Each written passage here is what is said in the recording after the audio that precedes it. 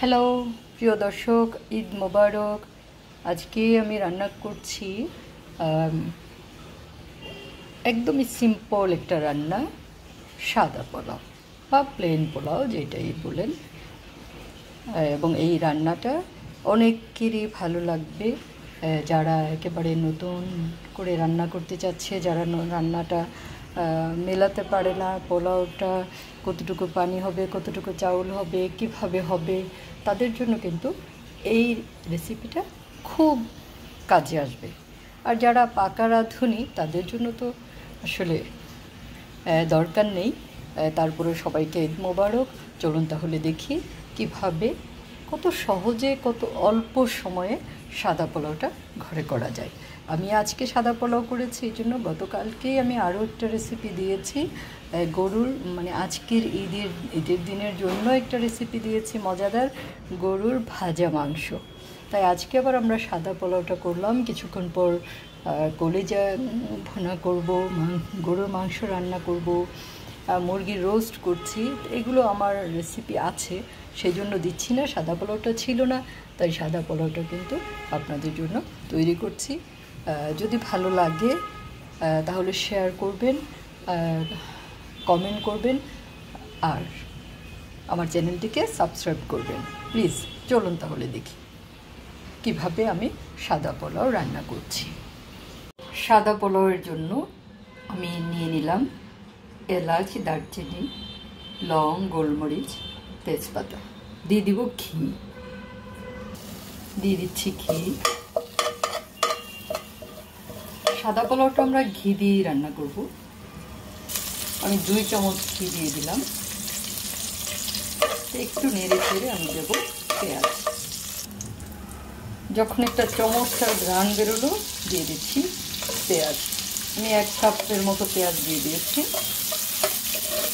আমি চাউল নিয়েছি দেড় কাপ দেড় কাপ মানে বড় কাপ দিয়ে দেড় কাপ। এটাকে যদি কাপ চায়ের কাপ বলেন, তাহলে হবে তিন কাপ।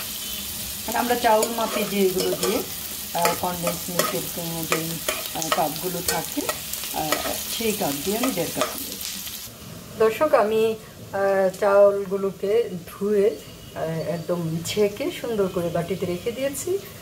এটা আমি ভিজিয়ে রেখেছিলাম। প্রায় আধা ঘণ্টা আধা ঘণ্টা পর আমি এটাকে ভালো করে ধুয়ে তুলে রেখেছি। এখন পেঁয়াজগুলো হলেই আমি সেখানে চাউলগুলোকে ভাজতে দিয়ে দেব। পেঁয়াজটা লাল লাল হয়েছে, আমি দিয়ে দিচ্ছি রসুন বাট, দিয়ে দিচ্ছি আদা বাটা। আদা রসুনটাকে ভালো করে ভেজে নেব, যাতে কাঁচা গন্ধটা চলে যায়। কাঁচা গন্ধটা চলে গেলেই আমি চাউলগুলো ভাজব।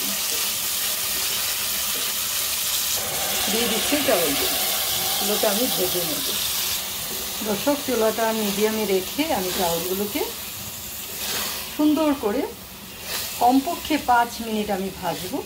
যখন চাউলগুলো একদম ঝরঝরে হয়ে যাবে, তারপর আমি পানি এবং দুধ মিশিয়ে দেব। দিয়ে দিলাম এক চামচ লবণ। লবণ আরও লাগতে পারে, সেটা আমি পরে দেখে তারপর দেব। খেয়াল করুন, আমি পাঁচ মিনিট ধরে ভাজলাম। এখন চাউলগুলো এখন একদম ঝরঝরে হয়ে গেছে। এবারে কিন্তু আমি পানি দিয়ে দেবো।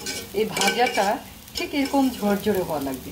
আর আসলে একটা কথা বলা হয়নি, এই রান্নাটা মূলত আমরা প্লেন পোলাও বলি আর যে ফ্রাইড রাইস বলি, যা ইচ্ছা তা বলি, সবই কিন্তু আমরা এখন পারি।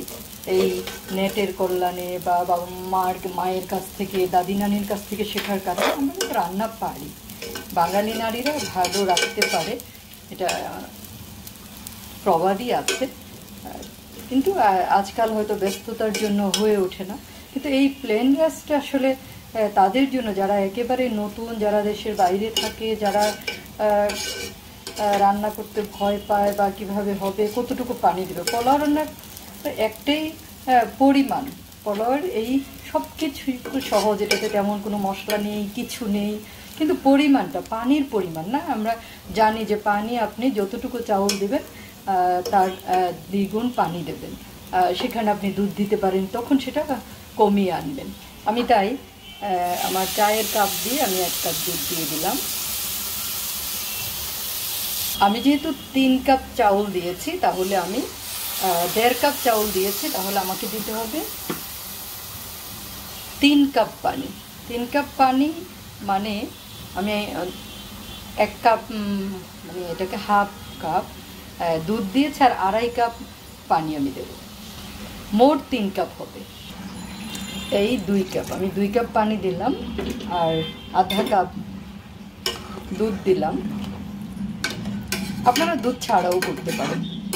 অনেক সময় দুধ নাও থাকতে পারে, কিন্তু দুধটা দিলে পোলাওটা অনেক টেস্টি হয়। আপনারা দুধটা দিয়ে করবেন। না দিলেও টেস্ট হবে, কোনো সমস্যা নেই। তাহলে আমি আড়াই কাপ পানি দিয়েছি, আরও আধা কাপ পানি আমি দিয়ে দিচ্ছি এই তো আরও আধা কাপ পানি আমি দিয়ে দিলাম।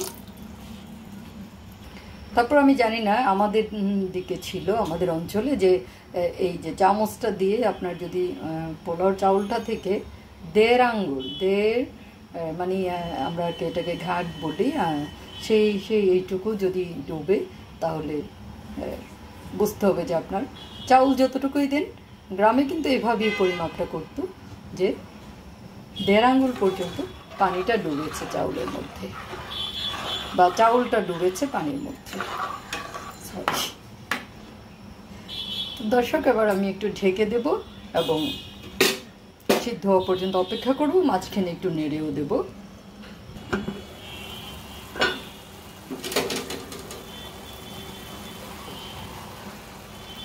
আমি আরেকবার নেড়ে দিচ্ছি। দর্শক হয়ে যাচ্ছে।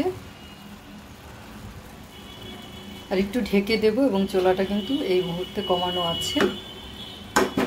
আর একটা কথা খেয়াল রাখবেন, পানিটা সব সময় পরিমাণের চেয়ে একটু কম দেওয়ার চেষ্টা করবেন। আপনারা, আমরা যতটুকু জানি সমান সমান দিয়ে মানে সেই পরিমাপটা যদি অনেক সময় চাউলটা ভালো থাকে না, চাউলটা একটু ঝামেলা করে একটু কম দিয়ে, পরে কিন্তু লাগলে ছিটা দিয়ে পানি ওপরে দেওয়া যায়। আমি আর একটু পরে এটাকে তাওয়ায় বসিয়ে দেবো। চোলাটা কমিয়ে। দর্শক, অপর দিকে বেরেস্তা করে দিচ্ছি পনেরোর জন্য দর্শক, হয়ে গেল আমার বেরেস্তা। এই যে এরকম লালচে যখন এর চেয়ে বেশি পুড়তে যাবেন না তাহলে কিন্তু তিতালে লাগবে। এই যে হয়ে গেলে, আমি এখন উঠিয়ে একটা স্টিলের বাটিতে রেখে দেব এবং তার উপরে কিছুটা চিনি ছিটিয়ে দিয়ে দেবো, যাতে মচমচে হয় দ্রুত।